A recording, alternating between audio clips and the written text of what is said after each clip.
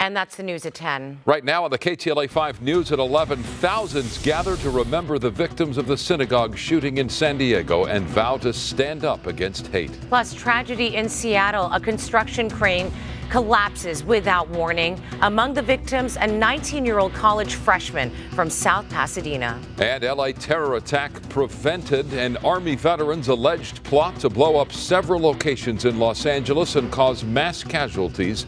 How investigators cracked the case. Now on the news at 11.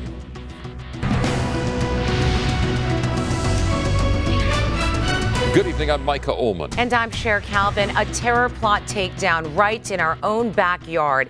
Today, federal authorities arrested a U.S. Army vet who had plans to pull off a bombing that would result in mass casualties. The suspect lives in Reseda. That's where Mary Beth McDade is tonight with chilling details. MB. Micah and Cher, his brother, tells us that Mark Domingo only recently became a Muslim. The FBI says that at the beginning of March, he posted an online video professing his Muslim faith, and then the next day he posted that America needs another Vegas event, obviously referring to the Vegas massacre. The Reseda man accused of